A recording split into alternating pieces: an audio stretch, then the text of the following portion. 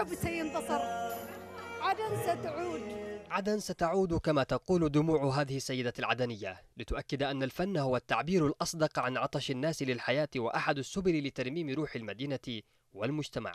مرة أخرى تضع عدن بصمتها المميزة وهي تمضي في طريق انتصار جديد من خلال إنتاج الفيلم السينمائي عشرة أيام قبل الزفة كأول فيلم سينمائي طويل محلي يتم عرضه في مدينة عدن مع بداية أيام عيد الأضحى المبارك. وهو من تأليف وإخراج المخرج الشاب عمرو جمال.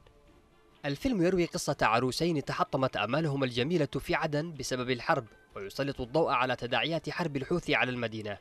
أيام عدن المجيدة التي كانت رائدة المسرح في الجزيرة العربية تعود اليوم من نافذة فيلم عشرة أيام قبل الزفة في ظروف بالغة الصعوبة على المستوى الأمني والاقتصادي والسياسي وبعد أربع سنوات من الحرب وعدم الاستقرار.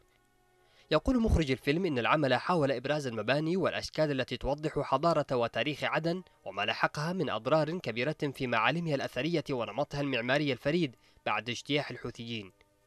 فعاليات احتفائية وحضور في الأخبار ومواقع التواصل الاجتماعي تناولت الفيلم تحت إطار الفن في زمن الحرب كأول تجسيد سينمائي لتشوهاتها يعيد صورة الإنسان العدني المحب للسلام والتعايش كما تقول إحدى بطلات الفيلم.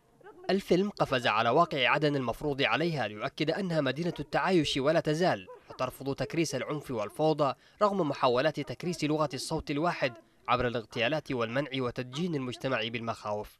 في الفيلم حضرت ملامح عدن ببساطة أبنائها وهم يواجهون صعوبات الحياة وقسوتها التي فرضتها الحرب وتداعياتها.